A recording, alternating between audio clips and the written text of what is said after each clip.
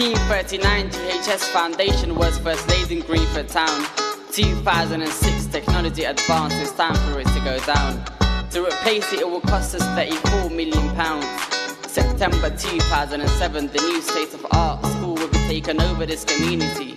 Helping people, helping humanity, helping both you and me. It will allow us to get A's and not D's.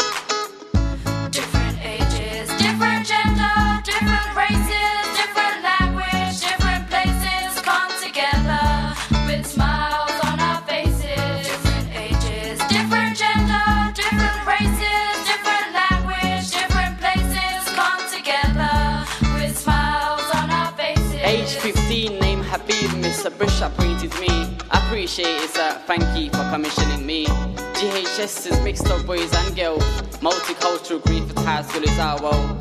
8.45 Monday morning, all you see. Different ages, different gender, different races. Big smiles on their faces. I see teachers look at us and smile.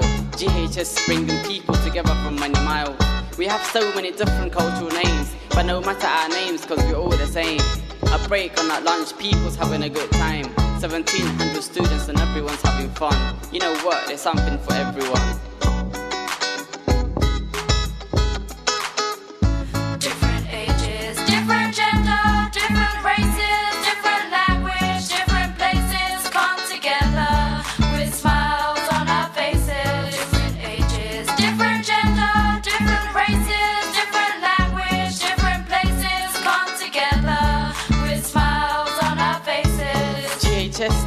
Unique to every other school.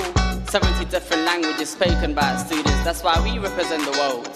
And when politicians talk of peace, no crime, and equality, if you look around, it's really hard for that to be found. But still, we set example for every London community town. We have unity.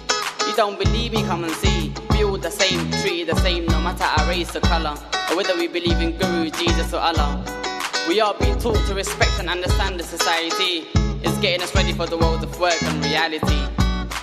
We have different ages, different races, different students with different ability, but still our aim is high quality, white or ethnic minority. Ages, different gender, different races.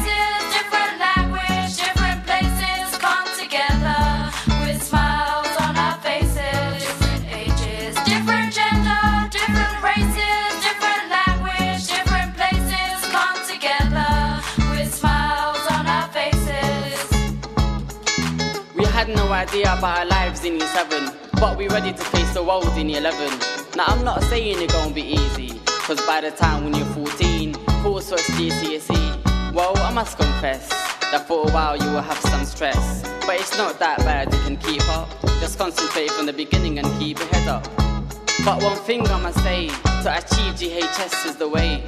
Five or seven years, we are loaded with enough information that will get us a star qualification. Ms. Griffin and all the teachers constantly pushing us harder, giving us that little extra motivation. And all the information that we gain remains in our brain, helping the world to move forward and not stay the same. Different gender, different races,